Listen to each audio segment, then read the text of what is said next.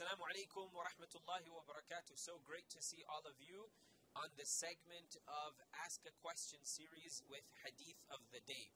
Let's read today's question. It is being relayed on the screen here. With so many travel restrictions and changing conditions due to COVID, I cannot realistically meet potential suitors with my family, and I'm worried I will commit to someone without truly knowing them. What should I do in these circumstances? And what advice would you give to youth looking to get married? What should we look for in a spouse? So, this is a wonderful question, and mashallah, it's also a loaded question. So, first of all, uh, you are absolutely right that with the pandemic, uh, there are all kinds of travel restrictions uh, right now, we are seeing some kind of ease in some countries and some parts of the world for the travel, and flights are becoming a little bit more numerous than they previously were, uh, and, and, and therefore, uh, travel is becoming a little bit easier. But the point here is the question is that um, if I'm trying to meet a spouse, and uh, I may not be able to do so because of the restrictions, uh, what should I do? I may not be confident and absolutely satisfied if I'm marrying the right person. Number one advice is do not get married to a person you are not absolutely sure about whether this will be a suitable person for you or not. Do not rush and do not hasten to get into a marriage when you don't even know whether this person is the right person for you or not. Uh, so the second piece of advice I have is uh, to do your diligence and use whatever is at hand. So when we are getting married, the Prophet of Islam, Muhammad, peace and blessings upon him, told an Ansari companion that, Have you seen the person? Do you know about the person you are intending to marry? He said, No.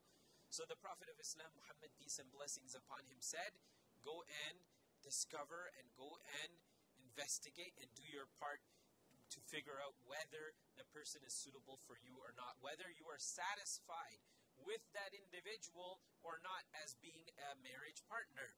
So, what that means is that we need to do our due diligence before we make a commitment that we want to marry someone. So, if you can't travel to see the person that you want to marry, use technology. Uh, the traditional manner is that uh, we ask about the person. We, we ask, who are the friends? Talk to the friends of that person. Uh, uh, who are the associates? Uh, you know, ask people, uh, relatives, friends of that individual, and figure out some points about that individual. So the point is, do do due diligence, meaning that do your part in figuring out whether it takes a week or whether it takes months or even years to figure out whether that person is the right person or not.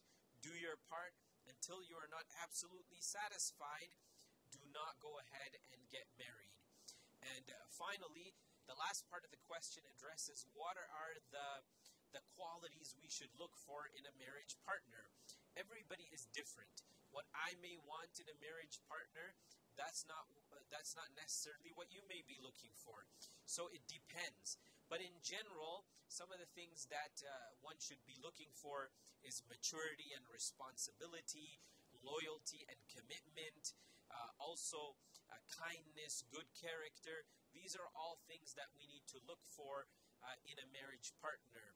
Marriage should not only be about how financially stable a person is, even though this is important. It should not only be about how a person looks and appears, uh, meaning how handsome or beautiful they are.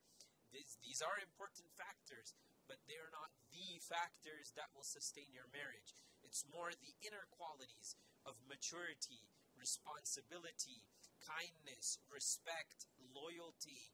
These are all great um, uh, traits that one should be looking for in a marriage partner. And once you do find that marriage partner, then do hasten towards getting married.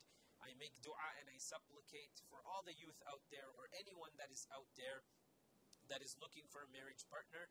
May Allah facilitate the best of ease for you. May Allah subhanahu wa ta'ala give you the best partner possible. And may Allah subhanahu wa ta'ala strengthen your marriages. And may Allah subhanahu wa ta'ala bless us all with the best of this world and the hereafter. We'll see you in one of the coming segments. Jazakumullahu khairan. Wassalamu alaikum wa rahmatullahi ta'ala wa barakatuh.